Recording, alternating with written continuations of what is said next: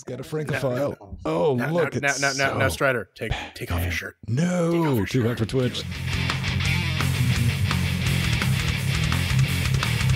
And welcome back to Linux Gamecast Weekly, the show that covers the latest Linux gaming news, reviews, how-tos, and most importantly, whatever the hell else we come up with. This week, we're going to be talking about Steam and the fact that they've named the biggest games of 2018. There's actually a few surprises in that, and do you remember all the Flash games that you used to play, like on Newgrounds and all that? You tried to forget them, but they're still around, and like it or not, there's an open source project aimed at preserving them. That's kind of neat. When I say super tux, you say nothing, because that's what we're talking about. And want to know what the best controller for Steam games are? Prepare to be disappointed. And Epic Games made $3 billion in 2018, but they still show no desire to, sh- to provide support for Linux. And also, there's another open source games on Steam, and it reminds me a hell of, of uh, Warcraft 2. Ladies and gentlemen, boys and girls, I'm Old Man Ben, kind of warm man Ben. It decided not to be cold on this beautiful day, but up in uh, Canarctica, Arctica? How do we want to do that? Can, Torontica? can Arcticadia? Yeah. Yes, uh, that is one uh, Jordan Swing. You know him, you love him. And all the way from L.A., coming in and out of tune, uh, the man with the pink shirt. Look at him. He's hot. He's sexy. And most importantly, he's not Pedro Mateus nor Frank. No, nay. That is one I'm just a Mathieu Francophone. Just a Francophile here to replace Pedro. And hey, look, everyone joining us live, joining us, making that last special little bit known as uh, cooking. Suck too. Hey, before we get going, let's uh, play what's going on in each other's uh, life organs in this special week once again. I got bad news for you, lads. I got Oh, a bit no. of bad news for you. I do. Um, no concussed Vin 2018 came to an end. Oh, you, you, you, you schmacked your head a little bit? pretty hard, man. pretty bad. I mean, I didn't Oof. take myself out, but um, you know, if you've ever done any type of martial arts, or in my case, uh, you know, working as security, bouncing and stuff like that uh, in graduate school, you know what a concussion is. You know what it feels like. You know, over the hob, do you have those like um cabinets, like those little? No, I- I know what you're talking about. This place doesn't have them. Okay. I have those and I keep uh, just regular chemical supplies up there. And I had had one of the doors open and I was leaned down working on something small, raised my head up, boom, saw the stars. I was like, God, all right, that happened. That was my adventure. What's new with you, sweetheart? Oh, I mean, my foot, my foot's still healing up. I'm gonna try going to the gym tomorrow, and hopefully nothing reopens and bleeds. Um, I got, I got, I got, I got Jordan, Jordan's movie reviews for this week. Venom needs to be more about Venom and less about Eddie Brock's girlfriend. Spider Verse, very, very good, and happy on Netflix. Give it a watch. It's good Hmm. stuff. So, on my side, I've been working on Lutris full time on the past few weeks to like uh, flesh out this uh, new uh, Lutris uh, 0.5, um, which is currently in beta. I released it a few days ago. Uh, and I'm going to release another beta now that I'm back home because I've been out of the um, out of states uh, for a few days during the during Christmas. So I just pushed out uh, the current state of the projects, but now that I'm back home, I'm going to start working back on it and release beta two. So, like, uh, keep an eye on that. Sounds Mhm. pretty good. Exciting. Terrifying. Um, unlike the horse who's not yet hungover but has uh, expelled all of the holiday cheer. No, and I think, and I think they're shivering a bit, and they've wrapped themselves in a big old blanket of money. It's the steam. Hang on, gotta do the thing. Come, come on. You, you're pretty weak. This, come on, man. Wow. Slow clap. All right. All right, um, coming up first, man. Let's talk about those biggest sellers of 2018. Steam came out, put it in our face. We got a couple of things. How are we ranking them? We got platinum, we got gold, we have silver, we have bronze, and do we have anything below bronze? No, we don't. One thing we don't have a lot of is Linux up here on platinum. Now I know you're saying, "Hey, man, I see Dota 2 and I see Danger Zone." And they're free games. I'm not going to say they count, man. I'm going to be that well, person. Civ sticks as well. We got Civ. St- Yeah, Civ Sticks, where where you build a Civ Sticks. civilization as the members of the band Styx. They're delicious. Yeah. My lady Mm. of the mo- no. Um. Anyways, uh, yeah, there, I mean, as as you scroll down, most most of the Linux titles are under uh bronze, uh, with like Crusader Kings and Garry's Mod and Well, we got Hospital. uh, City Skylines. Yeah, Dar- Darkest Dungeon is on the list. That is a very good game. Arc, Very, very that, good that technically has a Linux port. I'm not going to say it works, but Pillars of Eternity. So the, these these these are all ranked by gross revenue, correct? Yeah. hmm. So Is I, it uh, uh, revenue or number of sales? uh, this is gross revenue. It says at the top. hey, remember when Human Fall Flat worked on Linux? Right. we Oh, we, we man. streamed that once or twice. Then they're just like, nope. Yeah, but But, uh, um, Yeah. I mean, all yeah, but all, Linux, Linux game representation. There's there's there's there's a there's a there's a couple in uh there's a couple in gold. Uh, I I guess people really like Total Warhammer. I I know none of us did, but No. apparently it's a po- it's popular enough that uh people were buying it. Um, yeah, nothing. Yeah, uh, what Euro Truck is in uh, silver. Dying Light. Well, I mean, Dying Light got like legitimately fixed up, so it's good to see that it's in there. Well, Um, Strider, you saw a couple in here that you just weren't happy with. Uh, yeah, because I'm looking through this list and I have a hard time seeing games that outright don't run on Linux. So I picked up a few. There's, uh, of course, PUBG doesn't work. Assassin's Creed Origin has a DRM that doesn't work. Uh, NBA 2K, all those games, they have a DRM problem. Paladin, Paladins has uh, anti anti cheats and Forerunner as well. Beside those, I'm pretty sure you can find a way to play all those games on Linux using either uh, native versions or uh, Proton or uh, Lutris installer with DXVK or whatever. But there, there's like so few games that you cannot play on Linux now. And I, I, I review, I checked that with my Steam library of like uh, 1300, like 12, no, it, like I have a lot of games and went through them. I could count like 10 games I could not play on Linux. Well, so, listen, yeah. man, I know you say that a lot of games don't work, but I'm telling you, once that one game works on Linux, then then I'm totes getting rid of Windows, bro. Well, they want PUBG, I guess. They want uh, Fortnite, of course. Uh, yeah, well, I mean, I mean that that, that doesn't that doesn't have fucking all to do with Steam. I just want to I just want to get everyone to press F to pay respects for Football Manager 2019, which is going to be the first game in a while in the Football Manager series that does not support Oh, Linux. That's Sad times, sad times. This is not all the news we have from Steam, though. No, um, well, they they came out with a little bit of a companion piece for this last article. This is from the Steam blog. This is the top controller friendly games of 2018, and this article is like grossly mistitled because what it actually is is, um, it it uh, via Steam input they have the breakdown of who are using what controllers for what games, and it doesn't necessarily imply that these controllers are the best for those games. Period, because using Steam input you can work around a lot of issues. Rise of the Tomb Raider is a damn lie. Um, so Most Dead Cells. Steam- It doesn't work with the Steam controller under Linux. Really? Well, you know, you know, this is this is this is this isn't just Linux, Sven. This I'm is all uh, of listen, man. all all all of Windows dumb. You know that vast, massively diverse ecosystem of Windows 7 and Windows 10, and the one person who's still using Windows 8 because he was a true believer. Um, but a- but a lot of a lot of the a lot of the games are the same because a lot of people who play games with controllers on um on PC don't necessarily care about um the game supporting the controller. They just want their game to work with the controller period. Um and yeah i mean i mean strider you you draw some conclusions about this the people who play games with the switch controller.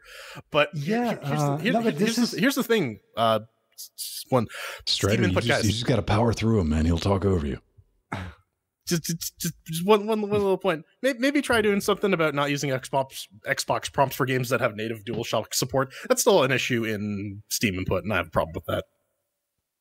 Yeah, so I see that more as a personality test than anything else because the those those like four different controllers they look pretty much all the same. So based on those results, you see which type of people like uh, by, uh, play which type of games with uh, which controller.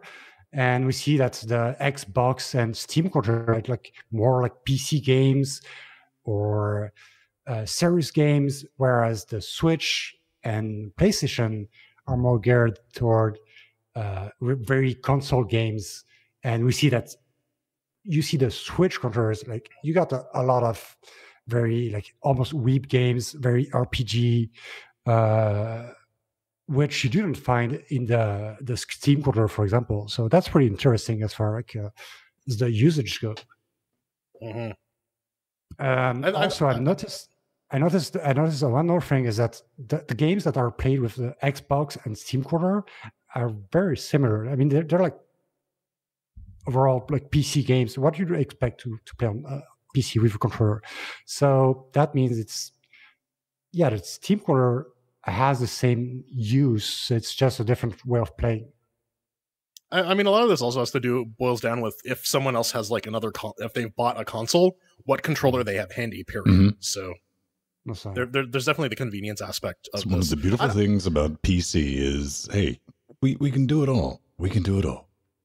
Yeah, that that that that that that, that uh, troll image of like, oh, it's an N64 controller and a PlayStation controller and like a Sega Genesis controller all plugged into the same unit. That's actually possible in PC land. That that is an entirely valid use case. One hundred percent. All right, coming up next, uh, this is more in your wheelhouse. Your favorite thing in the entire world, Matthew, and that's Proton. Yeah, so that that's an uh, interesting custom build of. Uh, uh, proton. So I don't know how to uh, pronounce it. It's is it a, a proton ignie?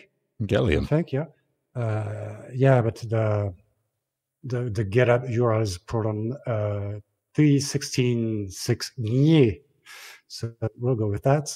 And it's really like the the closer we can get from the ultimate wine build because it comes with the usual proton goodness but as the gallium 9 patches so what are those those are patches that use certain features of the mesa driver to wrap around directx 9 so that means you get really really good performance on directx 9 games. Uh, it only works on mesa though. You don't get that on the nvidia driver. But if you can get this running you get stupid good performance. So I tried this not not with this build, but with uh, just wine, and I got like 300 FPS on Devil May Cry, stuff like this. Like it was that good. And currently, if uh, until we have something like VK9 that will translate DX DirectX 9 games to Vulkan, this is the really the best option. Um, that said, yeah, I mean, DirectX 9 games, they're getting pretty old. So even if you have an NVIDIA graphics card, you won't probably have, won't have any problems running those games. Even if yeah, you don't I, get like the well, one hundred percent. I mean, when you bring that up, when you put that in the show notes, like DX nine, that wine's pretty much got that down. Yeah, yeah, yeah. I, I, I mean, I mean, the, the big advantage with using with having um, gallium gallium nine uh, in in this particular build is more more for low end systems that don't have as powerful a CPU, so you can sort of use the native uh, DirectX hardware on your video card with uh, with your Windows games under Wine. Um, yeah, yeah the, the, I mean, I mean, some, something like this definitely is a lot more impactful for um, Intel integrated and AMD users and people who insist on gaming on Nouveau. Um, but yeah, um, the, I mean, this also this one also enables DXVK by default.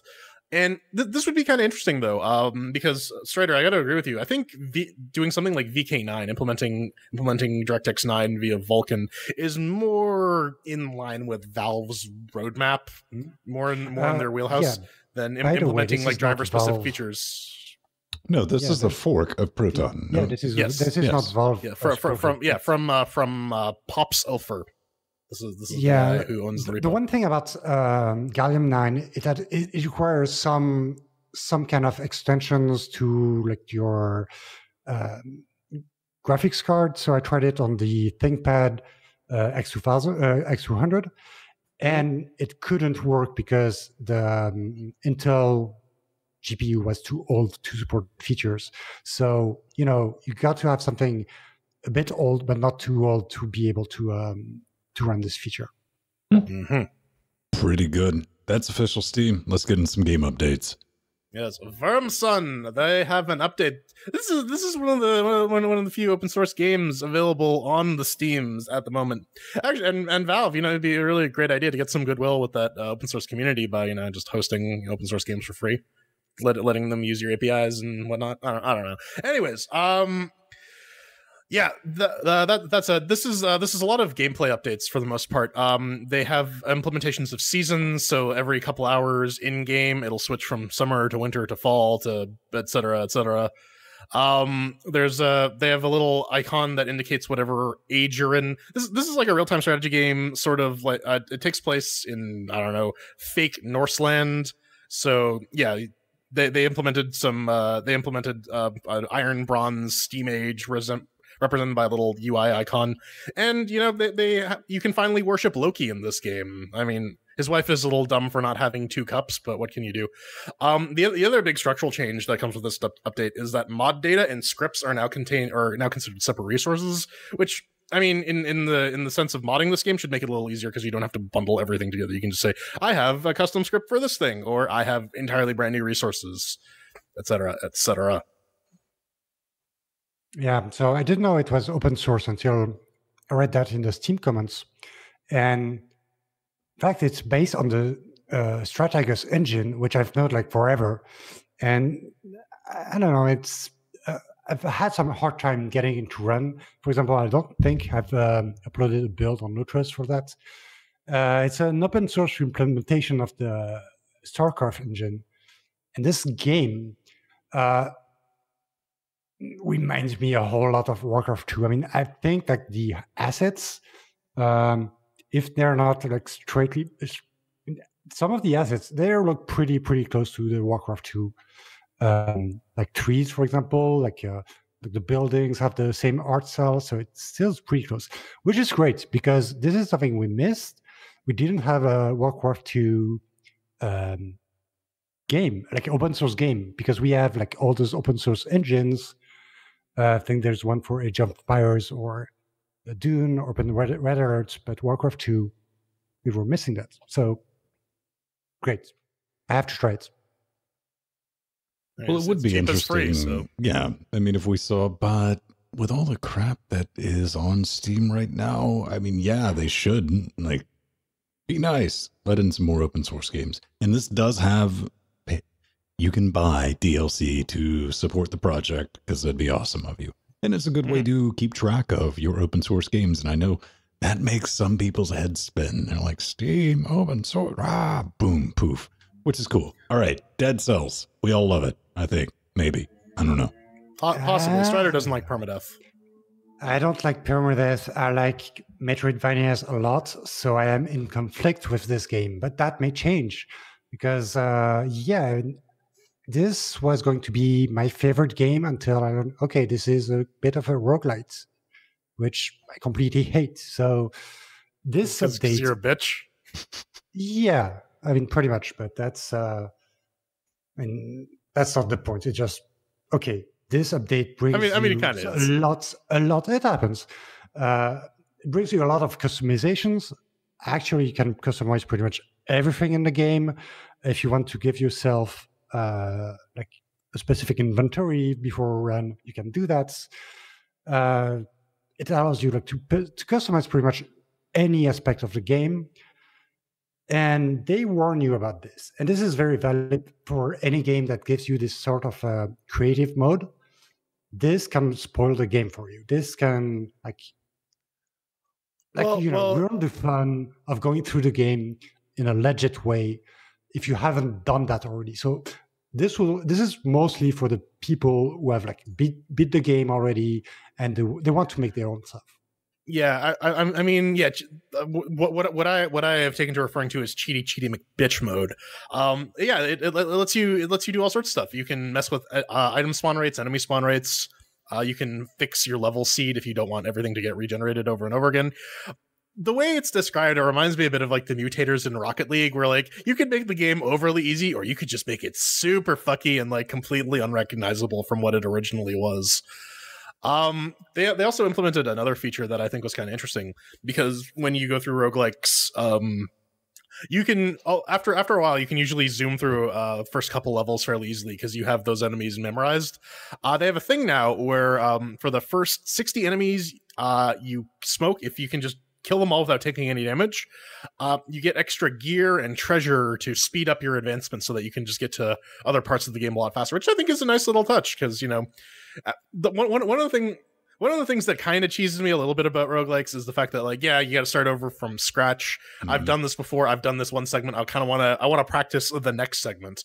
And this gives you like a, a decent opportunity to do that without horribly breaking the game one of the things yeah, I noticed with this is, I mean, it's on sale right now, part of the Steam sale, 20% off. So you get it for 19.99. Um, Arthurian inflicted this game on me, which I had a minute to try to play. Try to play, because this motherfucker don't work with no Steam controller. It doesn't. This is a bug in Linux. It crashes Steam overlay out of the box. Took me a minute Oof. to figure that out. It's like, okay, so that, hey, look, the jump button works. The D-pad kind of works. Plugged in the X-Clone controller, technically works, but the button prompts fluctuate between keyboard and mouse and the Xclone or the Xbox type button controls. Now, they, you guys need to fix this because, of course, I went to the Googles, looked this up. It's like, yeah, this is a bug that's been around for over a year. This is not new. Son, I was disappointed. However, in the options for the food items, I kind of smiled a little bit because it has an option to change all food items to baguettes. Brilliant. Yeah. Strider mode. Pretty okay, much, man. Okay, I'm sold then. I can buy the, the game. all, right, all right, all right. Let, let, let, let's, let's, let's talk about a game that started to work again. Well, I mean, it was new. We kind of missed it last week, and I was like, "Oh, do I want to get this?" And everyone's like, "No, it doesn't work." But hey, it works again. Uh, BallisticNG Linux hotfix. It's now live. They write, "Hey, everyone, just letting you know that we've uh, pushed a hotfix for Linux issues. They were mentioned. Uh, screen resolution. Let's see, handled by Unity. So it's sorted. Basically, it works, which I'm very happy about. Um, and if you're looking at it, two things that attracted me to this hey, it's a Wipeout clone, but it looks very true to the old school goodness of that. I know we've had attempts, even on Linux, uh, for this type of game, but it has online multiplayer support. It's seven ninety nine. Thought about picking it up and inflicting it on everyone tonight, but we decided not to. I might pick it up. It's cross platform too, which mm-hmm. is nice. Do we need anything crazy to run it? No. No, no. No. I'm going to say good on them prematurely because yeah. something it's one of those things i want I, I, want it to be retro i want it to be old but i want it to look like you know with an hd texture pack on link or some shit like that to be modern as well as well as yeah yeah um, I mean, the, the the screen resolution thing. Uh, Pedro constantly complains about this, so um, so I'm I'm glad to see that some people are starting to figure this out. Um, what they were what they were doing before was they were they were uh, using xrandr to like probe your primary display and figure out what resolution it's running at, so that they could feed a command line argument to the game via Bash script. And that's that's that's a little overdone. Make let let Unity handle all that stuff, and please please don't just let us not see the Unity scream of nope. That's, mm-hmm. all, that's all we want. But I, I, actually, I'm not even sure this is Unity though. I could be wrong. Yeah. Send me some hate mail. Yeah. Uh, yeah, it's every, every time I see this uh, this game mentioned, I think about the other ballistics games. The one like from 2001. I don't know if any, anyone remembers. Oh, from uh, what X, X, versus Sever? No, the, Linux the, the Game Public. It, it's before yeah. your time, child. Uh, way, way right. before. It wasn't 2001, and I think it, it was released in on Linux a few years later, but mm-hmm. still. And it was like in a tube it was a tube, and you could rotate. I bought a copy, and I think it was like I paid sixty pounds for it too. Um, it was um, ridiculously expensive. Mm, I think I'll, I'll try to put a demo, like the Linux demo, on Lutris if mm-hmm. I can. Uh, but this is like much closer to the original Wipeout. I mean, this when you said this is a clone, this is really a clone because the like the cars. I mean, if you can call them cars or ships, they're really like they, they look a lot like they used to look in the original game, and even the studio. The studio is called Neognosis, and as a reminder, the original studio that made uh, Wipeout was called Psygnosis. So they even made a reference to the original. Oh, the, the, the, the guys who made Rocket League, right? Yeah. yeah. Uh, that's another one. No, not this one. all right, all right. Up, up, up next. Last, last story of the Steam new Linux update of the week. King Eric. It is.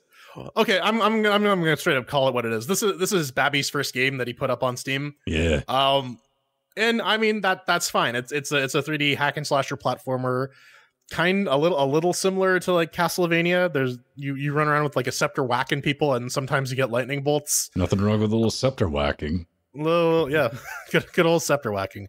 Um, the, the the the trailer is a bit weird, isn't it, Ben? It's in it's hardcore in stereo. It, it, man, okay, uh, yeah, I put that on. I was like, do you know that you have the game audio in one ear and uh, the sound effects? Well, I mean, yeah, the background music in one side and sound effects, game audio in the other. It's like it's taking advantage of that stereo, man. Hey, man, two uh, channels, super two neat. channels. Mm, boy, so uh, I kind of when I saw this, I was like, this this really looks like something straight out of the Amiga. Strider will love it.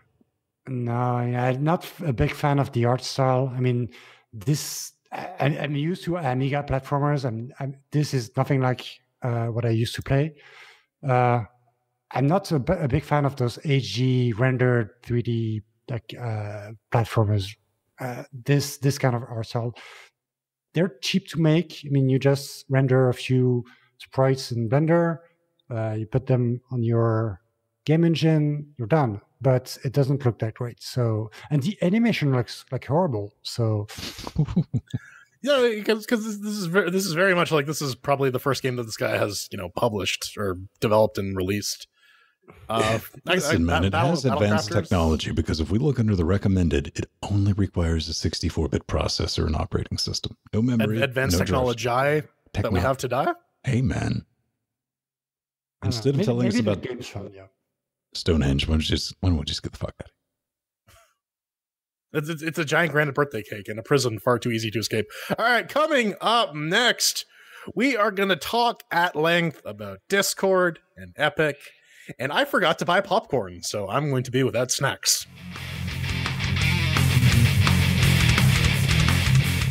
Welcome back to the news. Uh, we just got finished with that steamy segment. If you were watching live, um, Matthew, he said a lot about Lutris and super secret plans upcoming or something like that. Anyway, before we get into that, we do want to thank the lovely, beautiful party people making this show possible and again keeping us from having to read mattress ads.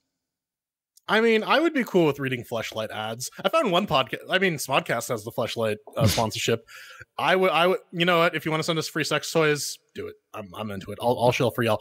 But for those of you who just want to give us money and not dildos, you can head on over to Linux Gamecast. money, not dildos. That's our slogan. yeah, money for dildos and your chicks for free. Um, click the click the support button. We got all sorts of fascinating links for you to click. Uh, Amazon affiliate links, Newegg affiliate links, Humble partner links if you want to just buy some stuff for yourself and support us at the same time. You can also give us some Bitcoins, some PayPal's, Ooh. all that stuff. I'm sh- I'm sure y'all can read. Nope. I hope I hope I uh, hope y'all can read. I maybe, gave maybe up, man. It hurt my brain. Maybe because you're listening to this, you can't read. Um, you need people to read for you. Go go go find someone and ask them to read this page, and then also enter their credit card number. Read but you can so also head on hard. over to yeah. Uh, you can also head on over to uh, patreon.com slash Linux Gamecast. Uh, join the legions of cool people, including Mr. Mathieu Comandon. That yeah, that's that's mm-hmm. the direction I need to point. Um, who are, who are funding this nightmare fuel. Um, you get a bunch of cool stuff like access to the Discord channel or pre-release um or pre pre-release videos from our Let's Play series or Game of Who, our Doctor Who podcast that we're going to record an episode of Monday-ish, I guess Monday Tuesday. We'll we'll figure it out. Um. And um, yeah, uh, you also get access to the show notes, so you can see the sausage as it's being made, suggest stuff, yell at us for being uneducated, inbred morons, etc., etc., etc. We also have um we also got a if if you buy some stuff off of our Amazon wish list, you can ouch, drop things on the floor. Drop things on my foot. Nice. Wow. That's the injured foot too. Beautiful people. I want to thank, um, especially uh, we have a, a beautiful, beautiful Greg has joined us, and come hang out in Discord, Greg. We miss you already. One thing we do have is, um, Matthew, if you could show the lovely people, we have a little bit of merchandise. Yes. So this is uh, the t-shirt I just got in the mail yesterday. He's got a francophile. Oh, Now, look! now, it's now, now, now, Strider, take take off your shirt. No, your too hot for Twitch. Too hot for Twitch. Put it back. It. Put it Do back. Um, we get a little cut of that, and you get some merch. And for whatever weird, strange reason, you can have Linux Gamecast on your shirt, and somebody can walk up to you and like, "Get away from me!" And they're like, "No, you run Linux too, friend." It's creepy. It's creepy. it, I it- love it's, it's a good way to keep the Scientologists away, though. I don't know, man. That, that'd be an interesting, interesting way to go about it. But thanks everybody making this possible. Uh, 2019, we're gonna be rocking and rolling that. We got some ideas, and you are making it possible. So let's get into some epic news. Pinky Finger, Epic Games, the creator of Fortnite, banked a three bu- billion dollar profit. This is not net A, billion. straight up profit. Uh, the game developers, it is a bold strategy, Cotton, and that, man, you really do need to have uh, no script uh, disabled for this web zone, don't you, in order to read it? Thanks, TechCrunch. Let's put that together. Anyway, uh, three billion in profit. Epic is most definitely in a position to take on Steam. That's kind of why we want to throw this in there because they've released their store. Unfortunately, it's Windows only right now. But one thing I've done, oh geez, if I ever dye my hair, I'm out. Um, 100%. One thing a lot of people on the Windows version have been complaining about is the complete lack of community tools. You know, no forums or anything like that. So I want to call it right now for 2019 is Epic. It's going to buy Discord. I'm Please it. don't. Yep. Please don't. Uh, 100%. I, I, I mean, it, it's in the realm of possibility, much in the same way that there is a massive gamma ray burst from the supermassive black hole in the center of our galaxy coming to wipe us all out now. Mhm. But I, I, I mean, yeah, I mean, For- Fork Knife has just been the money printing machine that Epic w- always hoped it was, and now, now, now that you're you're right, Ben, they're kind of in like this Valve position where they have a lot more money than they know what to do with and so they're gonna they're gonna open up a store that they're not that's not gonna support Linux. Period. Um, like I I I don't I don't believe it's gonna happen until I see it. Well, we talked last week that, you know, someone from actually working at Discord got back on, you know, on Reddit and they're like, yo, we are going to be adding Linux and to our Discord, their version of the game store. And they're like, it, it works. We're just taking baby steps. But here's the thing I got to think about altruistic. You know, we got Steam. Steam does things like, hey, they release Proton. And that's something Steam input. For Lin- I mean, yeah, actually doing things that have furthered Linux gaming. Then we get Timothy D. Sweeney, who only seems to care about Linux when his company can extract something of value from it without really having to contribute back. But Strider, I know you completely disagree with this point and will defend I mean, Mr. Sweetie I- to the I end have- of I have- days. I have no opinion about Epic Games whatsoever. I am completely neutral on this matter, right? I mean, Mhm. okay, no, Cha- cha- that's me. chaotic That- neutral, true neutral, neutral good, neutral evil. What? Oh, completely neutral evil.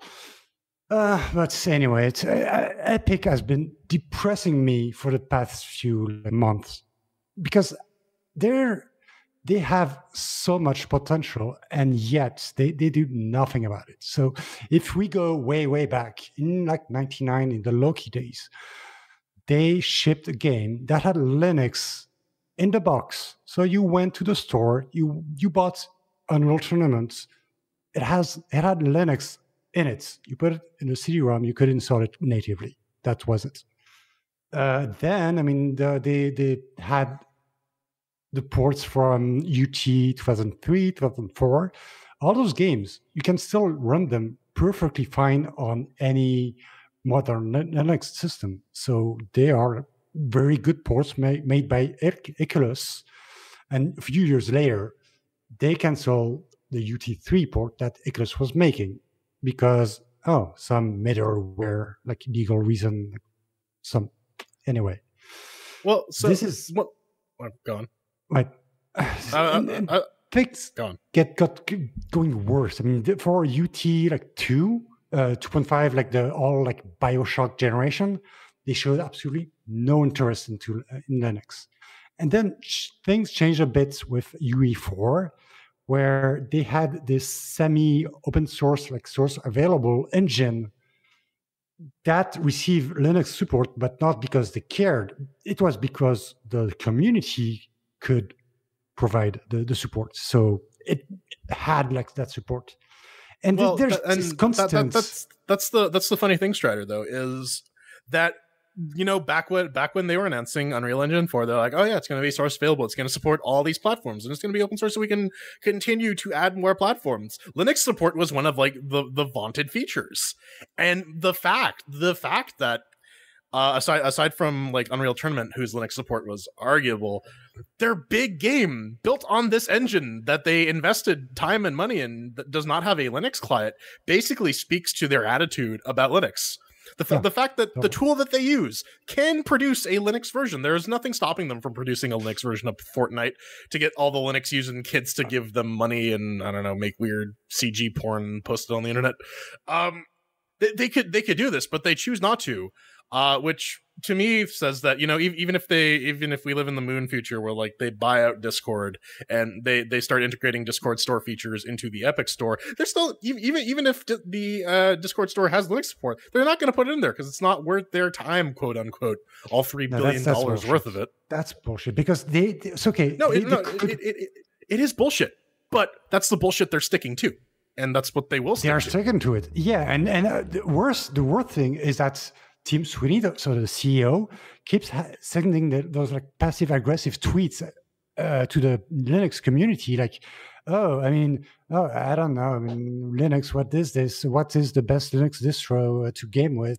I mean, he's uh, the CEO who has shipped games on Linux twenty years ago, and he's asking what's the best distro. I mean, he's shitting. Uh, He's trolling Strider, that thing you try to do tro- horribly trolling, And then unsuccessfully. he okay, but uh, quitting Windows, he has shipped his games on every single platform except Linux. Mhm. Is it that bad? Is every single platform, even iPhone? He's actively against it, but I mean, it's Epic strategy. They, they are shaking things up. I mean, with the store, But you also got to go back Why? and think when they released Fortnite on Android, they're like, you know what? You're not getting a cut, Googs. We're going to release it ourselves. I don't. I don't understand what they have against Linux. I don't understand what's their problem against Linux. What it's, did you Well, do? it- it's it- it- personal, it- it- man. it- Linux kicked their it- puppy. It's funny too because you'll like it. periodically see these tweets out of Tim Sweeney who's like, "Oh my God, Windows sucks. Microsoft is gonna destroy computing." It's like, well, you got this Yeah. big old other you know solution out there that's that works. It's But no. usable right now, but like the like the people who bring up Linux will just get ignored in in those threads because they they they just don't want to do it. Period. Hmm. you know what the the conclusion is? Fuck Tim Fuck Sweeney. Epic. Yeah. Fuck Epic. That's all. You just don't All love right. them hard enough. If you send enough prayers and fifis their way, they'll change their mind Oh, look, because look, that's been a successful strategy in the history of fucking never. All right, we're done with Lots theoretical prayers. shit. Let's talk about real world things that exist. Yeah, like uh, a Like good old Quake. Quake 2, and this time it was Vulkan. So we saw a few uh, uh, a few years ago there was VK Quake, and now there's VK Quake 2. So that's basically the same thing, the Quake 2 engine rebuilt with Vulkan. And I haven't tried it because uh, I've been pretty busy and out of state like the past week, but uh, I expect it to be very smooth. Uh, like you would expect for a 20 year old game that runs on modern hardware with a modern technology. And yeah, aside from that, this is vanilla Quake 2. So don't expect any fancy features. If you want those, uh, I suggest Quake 2 XP, which is on Lupus. Uh, it has all those like fancy graphical features that you can play with. Uh, yeah, now we have Quake 1, 2. We're just waiting for VK Quake 3. Well, currently, right now, we're waiting on the Linux version of this because it kind of requires Visual Studio if you wanted to get up and running. But it's in the to-do list. Uh, I think this was just put together uh, is like, hey, we can do it, and Vulkan's neat, and we're gonna do it. Uh, but yeah. benefits, I'm not really seeing any other than hey, look, it's Vulkan, cool. It's, I- it's I- not. And and I, I, I mean- I mean, that the, here, here, here, here's here's what's going to happen. This this is continuing the whole the whole benchmark of like, oh, does it run Doom? Okay, that it's a, that it's a proper computer, right? Mhm. Like Yeah. it, it, it, it works like work like this ensures that if we as a species can escape the looming cyberpunk dystopia apocalypse and escape into some fucky Star Trek future, we'll be able to play Quake 2 in the holodeck. Well, I think this really does speak to the simple fact that Vulkan, unlike DX12, has the hotness to it. People want to learn how to use it, and you see projects like this from people learning how to use it. Like, I need to get up to snuff on this. the only goal that matters currently is that every single game in existence must run with Vulkan. They That will. is- DX12's the And- future, bro. and it's the future, and we must head to that direction. And Well, well I, I, I mean, I mean, must run on technically, those DirectX 12 games can run on Linux with Vulkan. It's possible. Yeah. It's a, it is possible. It is possible, and we're Mm-hmm. Very close. We, possible. we are very very close. When do you think we'll get a uh, Vulkan render for uh, Flash acceleration? Flashpoint Project. It's a launcher, a launcher for BlueMaxima's Flashpoint. And I, I tried it, downloaded it, npm run build. No, those are words no one likes to play with. But this gives you a collection of. Uh, they've went through an archival project of trying to gather all the stuff from like the. I wouldn't say early 2000s, but definitely when, when did the Flash game really hit the like mid 2000s, 2004 through like I- 2008? I, I remember playing them in the early 2000s, like maybe 2002, 2003 ish. Mm. So. I, I, I mean, but yeah, like they're they're they're attempting to grab all like the games that were posted on stuff like Newgrounds and Stick Death and eBaum's World and all this stuff, um, and pack package them up as sort of an offline copy so that you can continue to play them. This thing even has like the Rick and Morty rushed licensed Adult Swim game that's called the Rick and Morty rushed licensed Adult Swim game. Mhm. Um, but yeah, um, this this this is a launcher though, so you actually need to download the project, build this using npm, which ugh. Hey, man, Um, what you gonna do? yeah, and point point uh point the uh point this point the launcher at the actual other thing that you downloaded with all of the games, and then you'll be able to launch them. Isn't there Um, uh, something that's just kind of sweet about it though? That uh, this this is Electron to run Flash. Yeah, I mean, I- that's, I mean- I mean, the same it- thing on it- it- Nitros. yeah, I fitting, mean- isn't it? The the, Well, the uh, modern the- day the- version of Flash, effectively the cancer that is Electron. No, but in in Lutris we have this web runner, and it's interesting. Uh, I don't think it's Electron though. It might be NW.js. This But- motherfucker runs Chromium on the back end? This is the way to run Flash games on Lutris currently. So we pack this like all like package with uh, this runner that allows to run Flash games. This yeah, is and I, I mean, uh, all, all, all, all this action script stuff is being reverse engineered via HTML5, uh, CSS3, uh, JavaScript. So they're they're they're like genuinely trying to get the old games running with like newer technology, so you don't have to have a sandbox Mm. version of Chrome that still has a version of Flash that can play these games. But I mean, this will also support. I mean, being from the web browser, it'll do like the Unity web player and things like that. Yeah, and it, and it- gives you the option to download all that stuff too from the launcher as well. The Um. I, I got almost that far when I saw that the uh, download to get like a chunk of the Flash games. I was like, I'm a little curious, but I, I apparently was not 35 gigabytes curious. That's- Yeah, I I, I, I, I tried 35. Where did you see that? It was th- 57 gigabytes. The whole thing. and wh- I I ended up grabbing the version that like oh it'll download the games as they play them and that didn't work i'm like yeah i'm not gonna come back after 30 minutes waiting for Well, I mean, even 50 gigs, I just didn't want to bother with it. I mean, what 50 gigs is going to take what 10, 15 minutes to download? no, it won't because it's on it's on archive.org. So you Oh, get yeah, pretty no. crappy speeds. oh no yeah So no tr- this this thing downloads at the speed of smell man it's Uh-uh. Well, I mean, you're close enough in LA. You could just drive up there and uh, with a thumb drive yeah, or an just- SSD, right? Like it, it's the concept of uh, IP over pigeon. Hmm. It's- IP, it's I, TCP over carrier pigeon yeah Right. The the the bandwidth is fantastic the latency is a bitch all right yeah. Uh Super Tux, not SuperTuxKart. This is this is the problem with this game is that whenever I see Super Tux, Yep. my brain immediately auto completes the cart. That's it's the biggest problem of this game is that everyone keeps forgetting it exists because it's named right after the kart racing game that people actually want to play. Um, but uh, they they have uh, they have a brand new update. This is uh, not 6.0. Um, they overhauled uh, their rendering engine. It's using OpenGL uh, 3.3 Core and OpenGL GLES 2.0. They're hoping to get this running uh, via WebGL in the future, which is actually which would actually probably be a good thing for this game because it's nice. not that demanding. Mm. You could 100% play this in a browser. Um, I almost I almost laughed um, when I saw that oh one of the features is Linux binaries, but then when I actually went to check, they're offering an app image in a Flatpak, and I'm like, yeah, yeah, okay, that that's fine. You're, you're, gonna you're gonna ship your game with one of those. I'm not gonna I'm not gonna give you shit for that. But it needs Previously, to be a snap to... snaps of the future for for for people who don't care about their FS tab. Ooh, burn, but it's still true. Strider, are you excited? Man, I remember playing Super Tux. Actually, I think yeah, that might have been one of the first ones. Like back in the nineties. That remember uh Super Mario? Oh yeah. The, the one that was sued by uh, Nintendo. yeah, the, remember Super Mario when it looked it actually was just straight up Super Mario before yeah, they changed, they changed the, uh, the sprite. And yeah, didn't like the new look. Uh, yeah, but that's that's the thing. That's one of the oldest games around, like in the open source games platformer.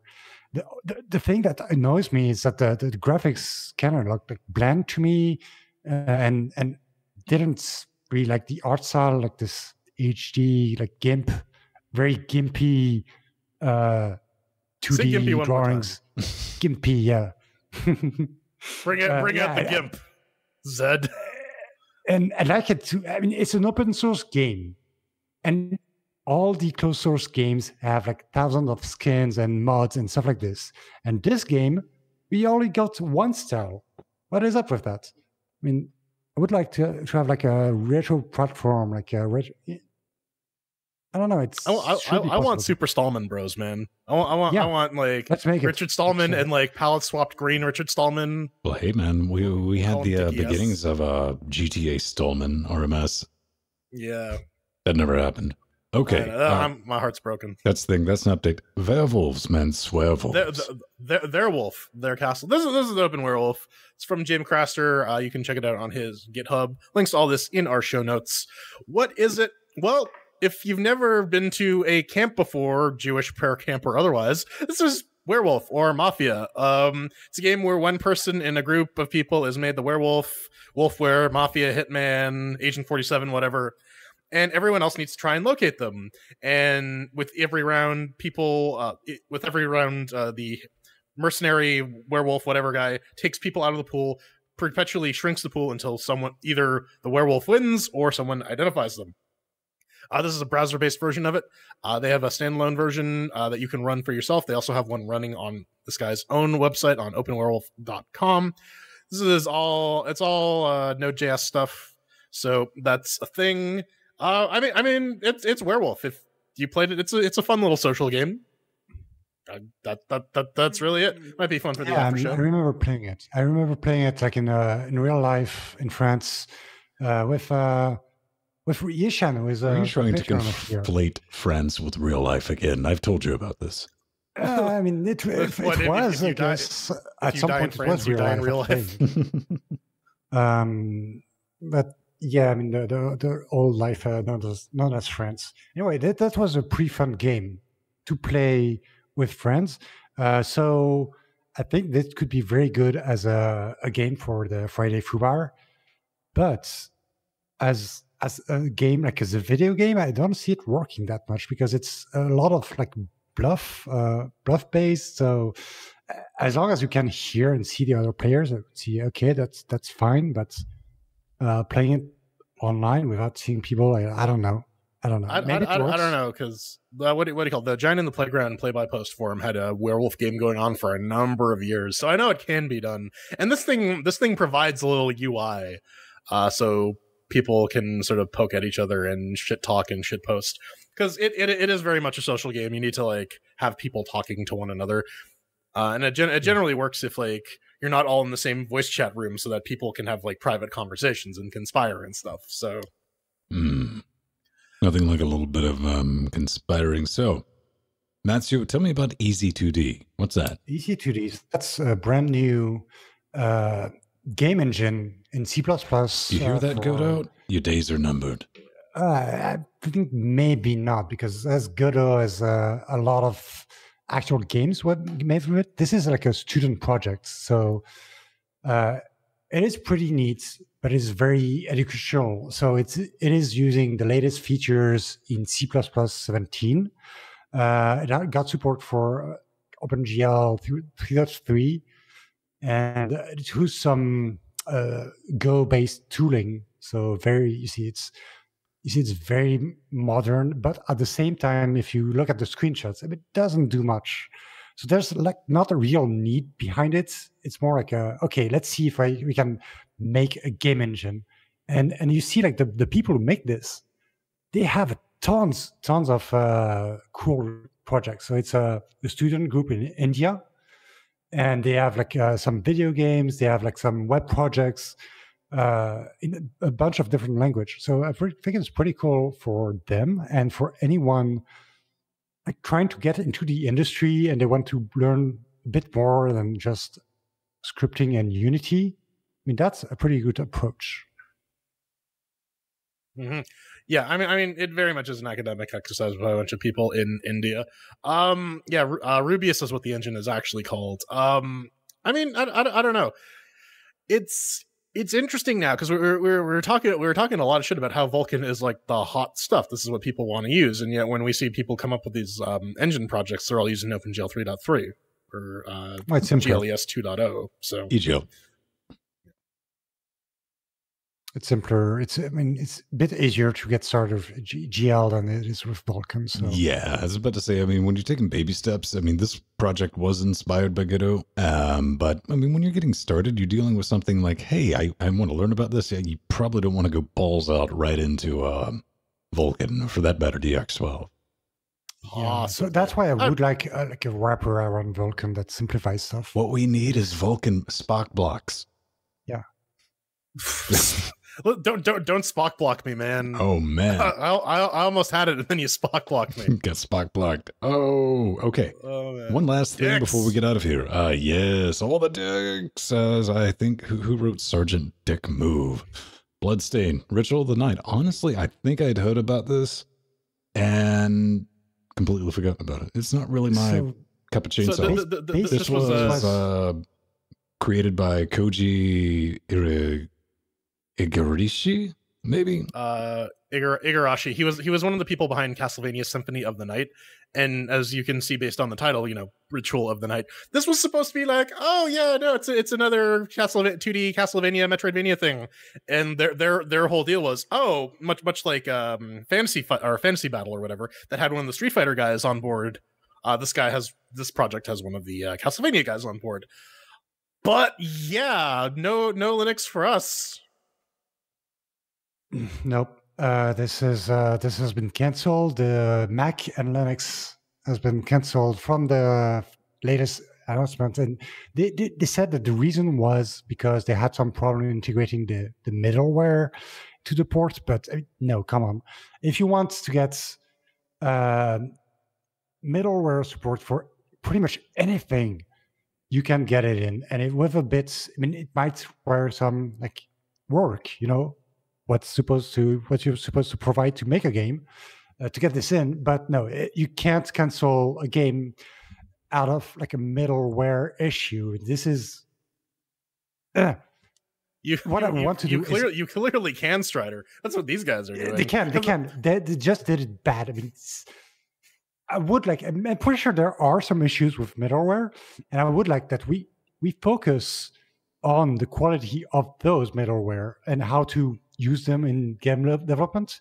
so that it's not possible to use this as an excuse in the future.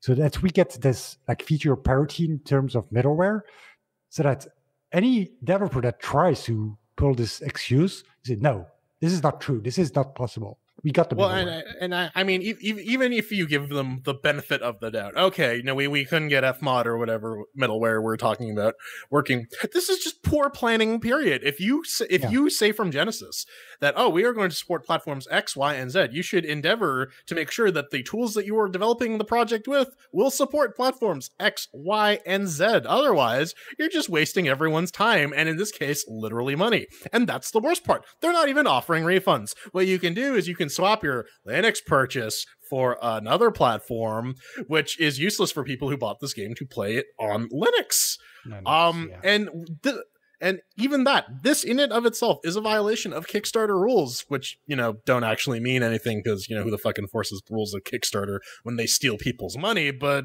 It- This kind of boils down to one thing. When you're backing anything, period, you- you're making an investment. You're not buying a product. We've all learned this the hard way, myself included. All of this can be avoided. You, you've watched us over the years. We're like, hey, maybe if they have a Linux as a stretch goal, let's support it. Like, oh, we got to scratch that out. Uh, that's not a good thing. Uh, maybe if uh, Linux is not a stretch goal, we'll support it. Oh, nope, they're still fucking us over on that one phase three, where we're at right now, unless the project launches, be it Indiegogo, Kick, anything crowdfunding, unless it has a Linux demo, we don't even give it a mention. But Yeah. apparently, this had a Windows demo. It's pretty simple. No Linux demo, no box. That should just a good way to go through. Even if a project like this that was funded to the tune of five million dollars, and it's shit like this that has caused uh, Kickstarter funding it fell from $42.5 million. Wrap your mind around that in 2015 to roughly 17 million for the last two years. And I think it's dropped even more than that. If I can get over to the notes, we have. yeah, uh, uh, Re- Re- Renee says that it's 5.5 million. Oh, man. And, you know, Don't- don't- th- don't they're saying, okay, but you can swap your platform. You can do that. That's not correct. I mean, I hope that everyone who backed this on Linux. I'm going to say, Is ask, well, that's for the a thing, man. I mean, even that. I mean, the Vitas dropped, they dropped the Wii U support. This, this, this, these are little hints that should tell you. But I mean, Mac and Linux has dropped. They're like, but you can support your platform. Motherfucker, are you going to give me like a $100 voucher towards a copy of Windows? Because if you're not doing that, go get fucked. I mean, I mean, seriously, we were all the mentioning that. Yeah, we were mentioning that during the the pre-show, and I was going for hey, if they had pushed a, a wine wrapper for this game, this would have been so much better. Like this would have been a, a more elegant way to to solve this problem. It wouldn't have been perfect. It wouldn't have been a native game, but at least they would have delivered on something, and maybe they could have like resolved the non-native aspect of it. They're not. the They're just not in the business of delivering anything. This is incompetence. I Every time not. I I see not. this, They're just like time. They're- They're just in the business of showing us like something that looks great, something like looks like the successor of uh, Symphony of the Night, and not shipping anything. Well, you think about that, and you're, you're looking at quality. You look at a five million dollar budget every time. I love, I love Team Cherry. I, I'm dragging them out again, and I'm just like Hollow Knight, Hollow Knight, Hollow Knight, because you're you're looking at one of the best platformer games. I'm going to just say made. Period.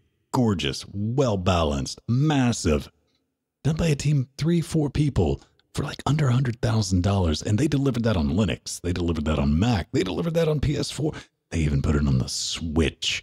So don't uh, confuse, don't fucking confuse middleware with incompetence because we're dealing with incompetence here, not middleware.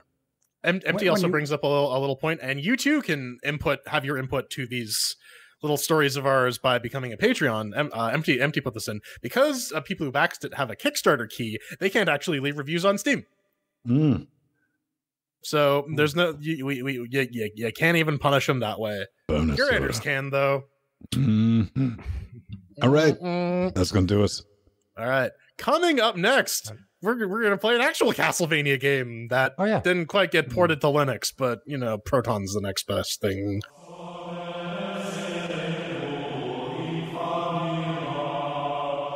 As the curtains fall on this hellish year that was 2018, we got we got one last thing for you. This is the last Chairquisition of the year, where we're throwing chairs at Castlevania Lord of Shadow Ultimate Edition.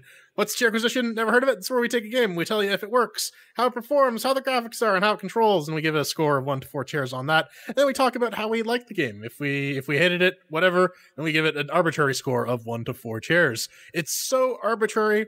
Uh, like I said, we're looking at Castlevania Lords of Shadow. It's from Konami. It's developed by MercurySteam and Climax Studios.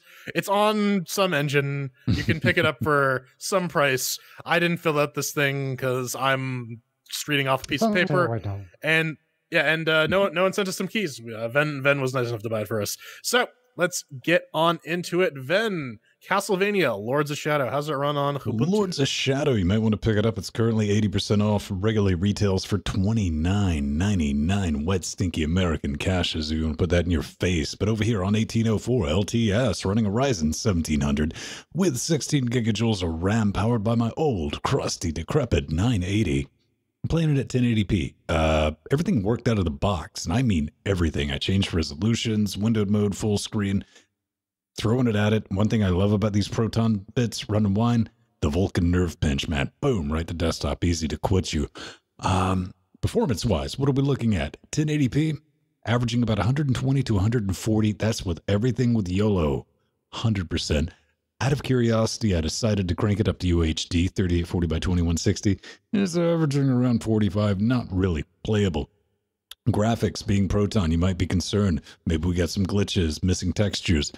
Honestly, I didn't see anything except for one where a light beam wasn't necessarily coming out 100% correct, but I can't ding it because it was like eight hours in. I was like, ah, I found one thing that was wrong. And this is on Steam's whitelist, so everything's supposed to work. And it's a DX9 title, so you kind of expect it to be baked. Controls, perfect, perfect, 100% title. Uh, well, perfect title, I should say, for the aerial control of the Steam controller, since camera movement isn't an issue with this game. And, uh, you know, I'm sorry, Valve no amount of like futzing with the settings on a Steam controller will make it work like an analog stick. So that's always a good thing to have the PS4 or an X clone, in my case, controller laying around. However, the lack of camera control is an issue, but not in the way you might think. More on that at 11. Perfect clean bill of health, which I was hoping to be able to say, see, these stupid Proton games are always crashing, but nope, not a problem. Four chairs yeah, that's that's kind of that's kind of like the pro with Valve sort of handling this, um, and especially with this being on the whitelist. Yeah, on Fedora 2864 bit, it launches, um, runs uh, at 160 FPS at 1080p with the GTX 1080 Ti and the i7 6700K. I didn't crank it up to UHD. I probably should have, um, but I'm I'll I, I mean this DirectX 9 is more CPU bound under Wine, so I'm not that Venn's CPU is a little better than mine, so it may not have been as good. Um, graphics, I mean, they're okay. They look like an Xbox 360 game, which is what this was. I just want to say though, you remember when Castlevania had like really good music? Like, I was very unimpressed with the uh, sort of basic Carmina Burana epic orchestral score. And I dug up the uh, Castlevania Rondo of Blood soundtrack, which is completely fucking banging. I highly recommend if you play this game, play it to the Rondo of Blood soundtrack. It's so good. Uh, control wise, yeah, everything works. Uh, I was using the uh, DualShock 4, uh, my nice little silver one here. Um, you get Xbox prompts though, so rip those QuickTime events. You're gonna it's gonna be a little closer than you anticipated. As you're like, shit, which which uh, which uh, circle is it? Is it is, which X is it? I don't know anymore. Ah!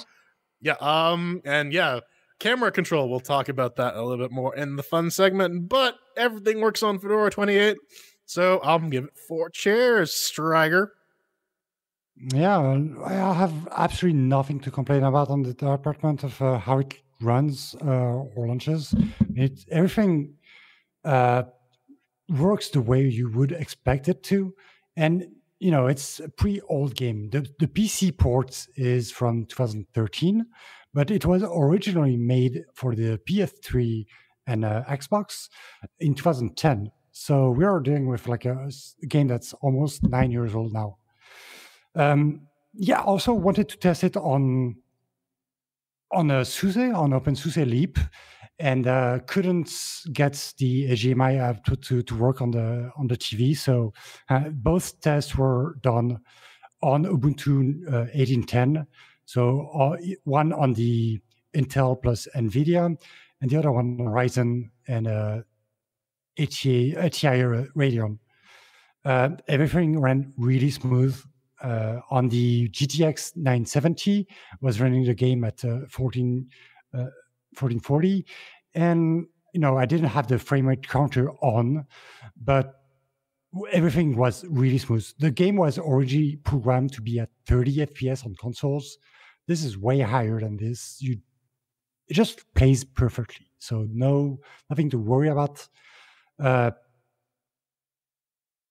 yeah, and other than that, the the game, the game really doesn't. Sh- well, it kind of shows its age, but it has pretty good. And the PC port, like if you're playing with the high resolution, then it looks pretty damn good.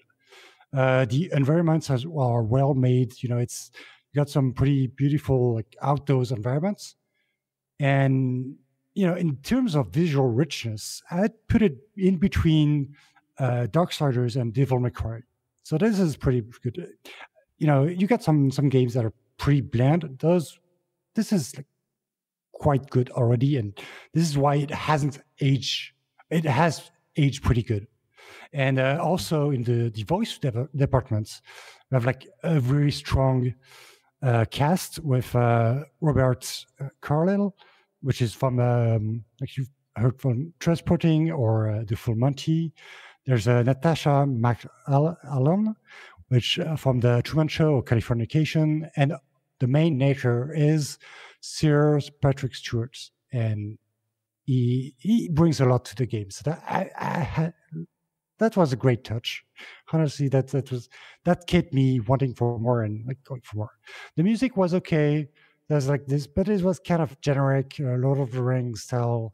So I keep playing through the game and and expecting to be rewarded with some uh, remastered version of a Vampire Killer or, or, Bloody Tears because I know they're in there. Just probably at the end game or something.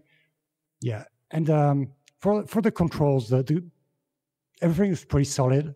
It's a console, it's a console game, so uh, the basic controls of a hack and slash 3D, but uh, it also borrows a lot from the old school Castlevania. So it's not uh, not really that a 3D exploration game. It's more like a pretty much 2.5D, where you have some liberty of movement, but it's not not really um, an RPG type game. So it's pretty much on rails. Yeah. Uh, still, the, the, the combat is enjoyable. Like it's fast paced. Uh, yeah, very, very good on, on that department. Uh, also, since there it's pretty much on rails, you, you don't get any camera control, and this make makes it a very good game to play with the Steam controller. So good for that. For for for me. Man, you that, people... that, that, that, that, that, was some War and Peace length stuff. Wow, right? Pedro, you, you Challenger appears. Oh man, yeah, no, it's it's it, it's rough. All right, well, there you go. It runs perfectly fine on Intel, AMD, and Nvidia. So good on you for that. Then, did you have fun playing Castlevania? You got you got quite a ways in. Um, man, I'm currently 14 hours into this nonsense, man. I thought because I actually had one day off and that was to be awesome. I was, I'm to finish this. I'm to just like, man, I couldn't do it.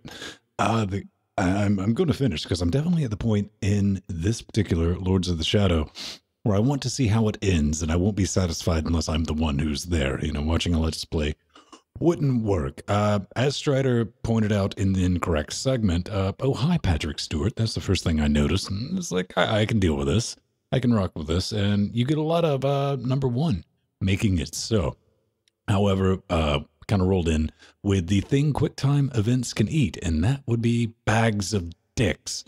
The QTEs have QTEs, and that is not an exaggeration in this fucking game. That is a legitimate thing to the point where you're just fucking laughing at it. You're like, really? Okay. And uh, we brought up camera control. There is no camera control in this. This is uh, directed by a rabid weasel on a meth binge. Is like an angry director in some of the shots where I'm genuinely like, why do you hate the player? Yeah, it's just not there. And one of the things, you know, Strider's like, you shouldn't have camera control in a castle. First thing they added to the sequel to this game is fucking camera control. That's the thing.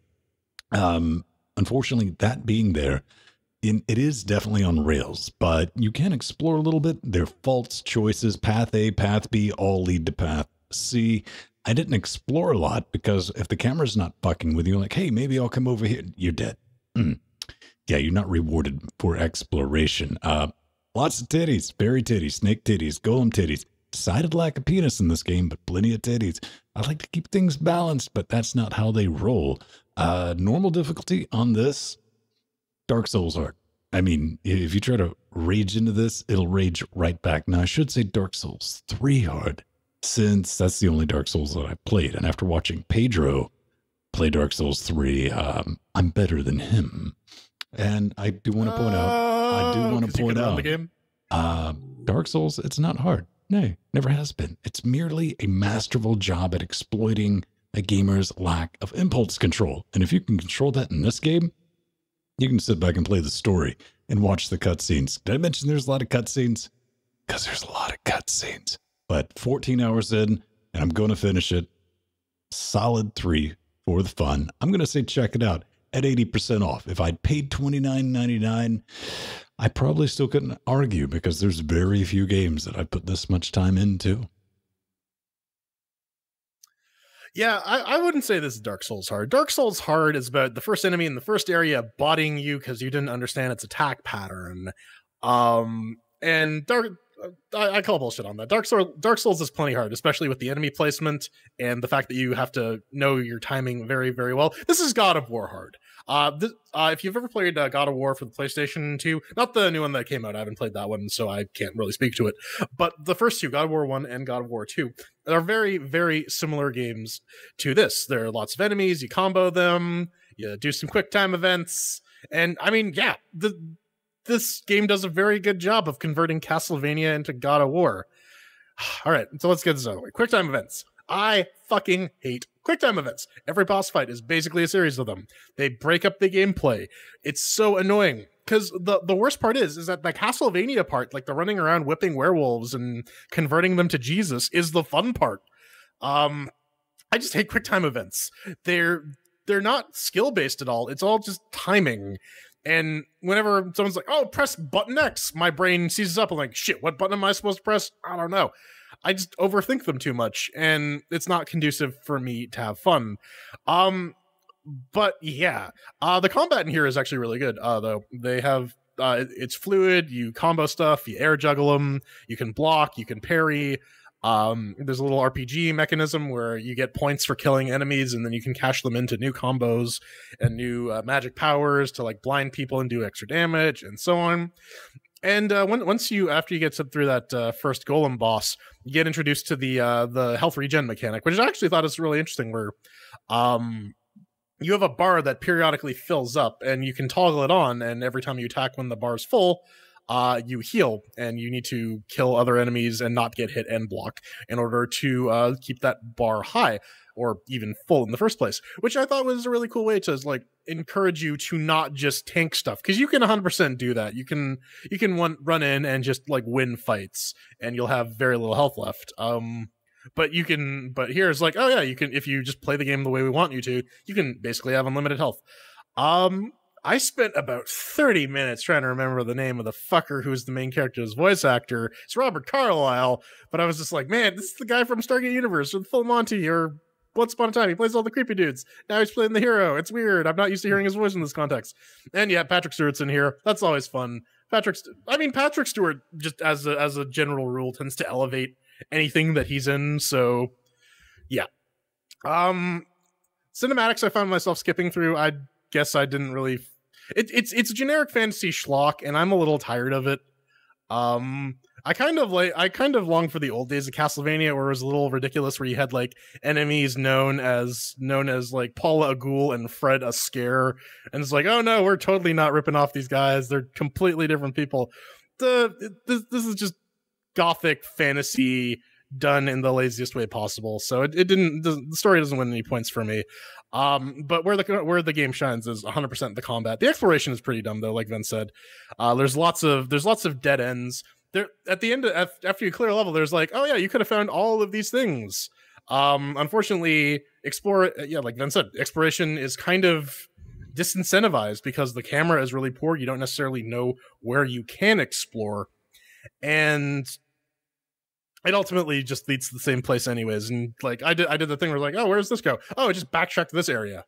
Ha! Huh, I just wasted a bunch of my time. This is very much Final Fantasy 13 esque on rails.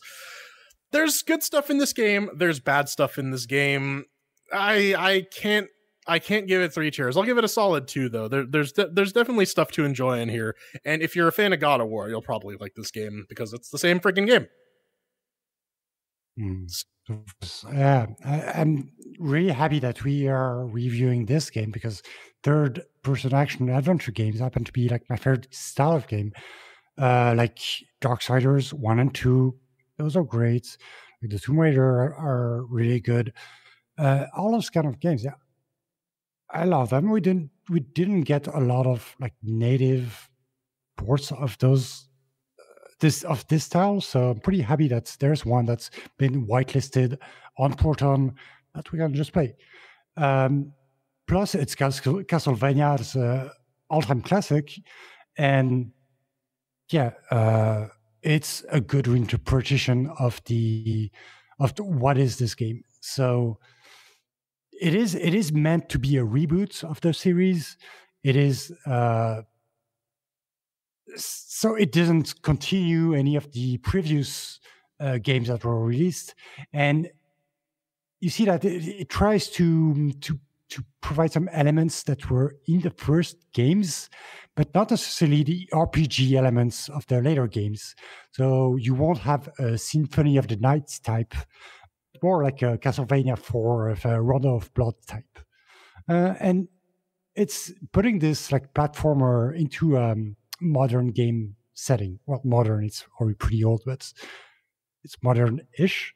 Uh, and anyway, the games over these past 10 years, they haven't changed that much. Uh, so yeah, it would totally be like that for a modern game.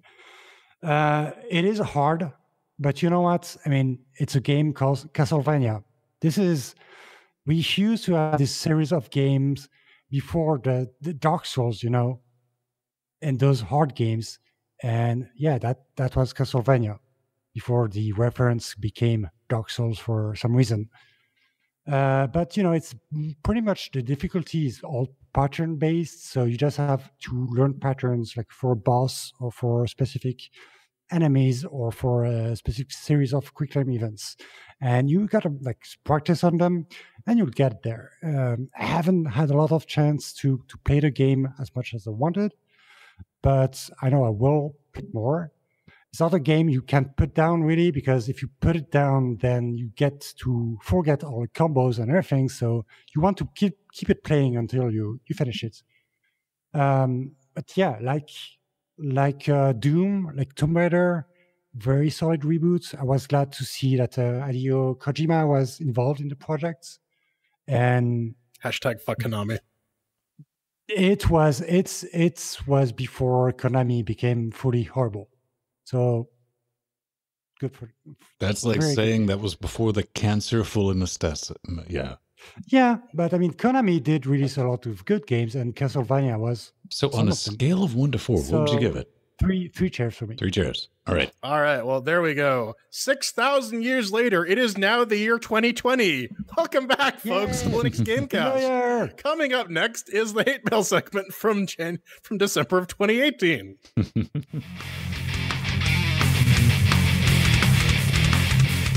and for the last time in 2018, we're here to take a look at your feedback because, you know, as Pedro often says, we spend about an hour and change screaming in your direction. Maybe you want to whimper, squeak, shout in our direction, you can do that by heading on over to linuxgamecast.com, clicking the contact button. You don't need to be smarter than a robot now because the Russian bots are smarter than the other robots, but you can still select a show. We got this one, weekly, daily, Wednesdays. If you want me to solve your relationship problems, I mean, you got bigger problems than that, but I'll give it a shot. Uh, give us your name, email, subject, and tell us about your favorite energy pickle. We'll read it on the show. If you also want to get in touch with us, you can uh, hit us up on Patreon. We will always, always, always read those messages. So you should definitely do that. If you're be warned, that's a threat. Yep. All right. So uh up front, up first, we got we got from Mr. Mr. Frostclaw. He's talking about the wines, and he says you should give Strider his own show on the Linux Gamecast Network. Yeah, it's like the Fox News network of Linux Right. gaming, just to see what the fuck he would do. Strider, if we gave you a show, what would you make it about? I know, right? Um, I would like to do several s- s- different things. I would like either to to uh, showcase some uh, some games uh, running either with wine or with open source engines. So you, so So- you want to get high and play video games? I mean, that's what I do every yeah. Thursday, I mean, pretty that's, much. I mean, isn't that what the other streams are about? Like the Clearly. yeah. Well, Uh, yes. and I thought that that, that was like uh, uh, what uh, Jordan and Peter were doing. They were streaming. No, no. Uh, Pe- Pe- Pedro doesn't get high except on all the attention that he thinks he's getting. Mhm. Yeah, I mean that's a one way. I mean it still count. Uh, Yeah, yeah. Anyway, I mean I would like. I mean if we could get some, maybe I mean I don't know. I would like to get some multiplayer Quake Three with the open source engine. Or I know, Welcome back some to the Quake 2. multiplayer Quake 3 show every week. I, That I, I, sounds I, like mean, a- we- like, you, you, you missed every out on all those Quake 3 broadcasts back in like the 90s because you couldn't do that because you're on dial up. Relive Right. the glory Yeah. days. Yeah. So I don't not not a day a weekly feed. It's like, I don't know. Maybe this week it would be uh, Quake Three, and the other I mean Xo- Xonotic, which is pretty neat. Or um, I don't know. All these those open source games. Welcome back to Yeah, Linux Vanquish. gaming in most of the 2000s, uh, first Yeah. person shooters. Why not? Why why not Oh, replay some tw- of those? Um, 24 hour or- Super Tux or if uh, stream. oh oh if we want to have a show that's like five hours, we play zero eighty. ZND. Yeah. Yeah, That could be a thing. that lasts like if you want to have something long. All right. Coming up next staging. Uh, yeah. this, this comes This from, from you. Venn. Um, Oh. Venn writes, other Venn. I went to download Lutris, and the website tells me, OMG, install Wine Staging or Stallman will punch a kitten. It links to uh, Wine HQ download. Uh, there's a page that doesn't say anything about installing uh, staging the wine. Also, the second thing people see when they mosey over to Lutris.net is a two year old post that could make someone think maybe, just possibly, it might be an abandoned project. hmm Yeah, well, it, is not. It is not. It has, been my main focus of attention in the past uh, month or so, and it is very much alive. And there's a, a lot of stuff I need to fix. I know that um, regarding the wine issue, I'm going to remove the recommendation of wine staging because recent wine is good enough anyway. Uh, staging doesn't have any extra dependencies. Uh, Don't you already pull a version of wine already? And you just use that yes, one? but it we require to have wine installed just to get the, the dependencies on the system. Mm. And once you have them, I mean, we can use a whole bunch of different fun builds, but we need it to be there at least once, just so we get like the the original uh, dependencies going. So, um, yeah, that's that's going to be updated, and maybe we'll figure something to have some finer dependencies going without having the need for wine itself, because we don't really need it. We just need its dependencies. Um, the the other thing is like the the homepage. So that's going to to have a full redesign, and I'm going to actually remove the news. Uh, maybe some put some news snippets from Patreon because that's where I publish the news now, and or something from Twitter as well, because that the the media's that receive um, updates. Um, we're going to bring a lot more support for the games themselves, like what you can play with um, on, on Lutris, what can run, uh, some focus on games that are partially popular, like League of Legends or uh, Magic the Gathering. Uh, those games, I mean, they are already very popular, and I want to to bring them up front. That they they yes, you can play uh, LOL or World of Warcraft on an without any problem. So, So, this is uh, going to so- have a full a full redesign. soon. So because, 2019, year of zombie Lutris. hmm Uh, uh, zombie, yeah, the or Phoenix maybe. No, If I, you I, I, like I like zombie Lutris. You can have like a if you a- ever, like if you ever baguette. considered it dead, uh, because it never was, but it was, it wasn't my full time uh, job. So now it is, and I'm going to ma- make it as good as I can and see where that goes. I mean, if that brings like a life to the project, if it becomes a viable product for me to work on full time, and I can like dedicate all my time on it, like making Linux gaming better. Uh, I don't know. This is like very experimental. Can open source development uh, is open source development sustainable for a person?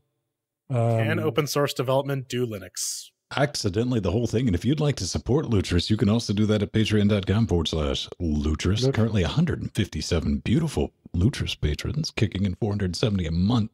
And that is awesome. That's always a fun experiment. And it's great, you know, for a system like Patreon to exist for independent creators like us. We don't have to walk out and read those mattress ads. Can you imagine Strider reading a mattress ad?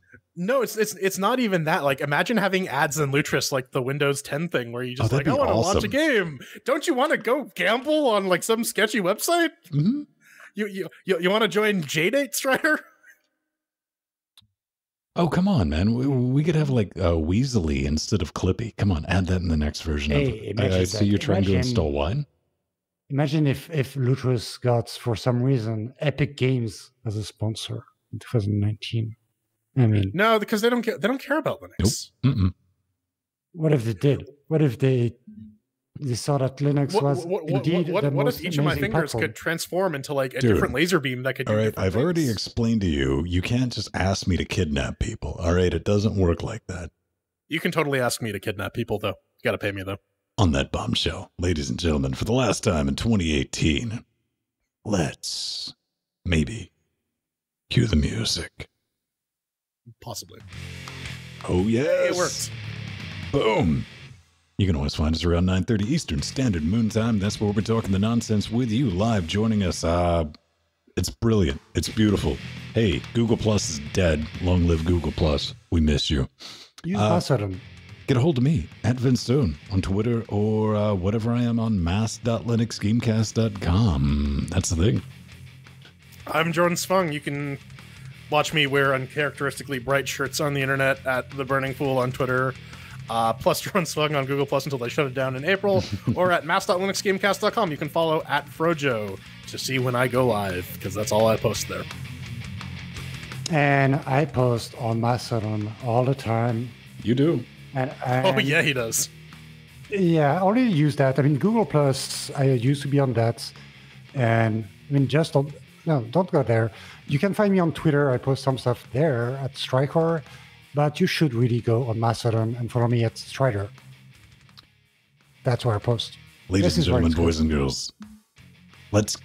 We, we had a good 2018. Let, let's make 2019 even weirder. Huh?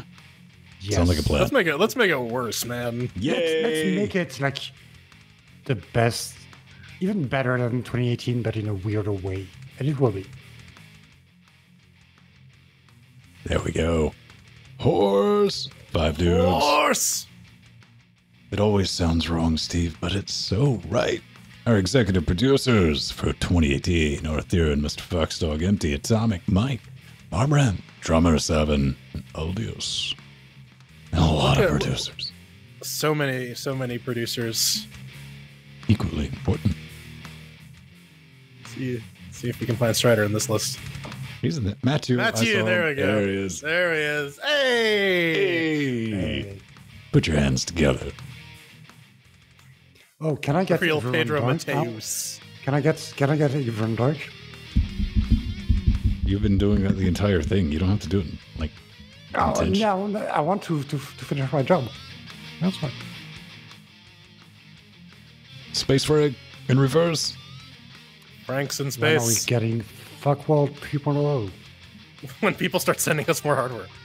We're at, almost at a fuck wall, and I don't. I man, That yeah. No, you, you, you gotta like make it even more and more cramped every time you add people to the point where it's completely illegible. Right. Just have like a magnifying glass set up, like on top of it, with a camera like- on it. Yeah, it's like what what was that squiggle again? I don't even I don't even remember.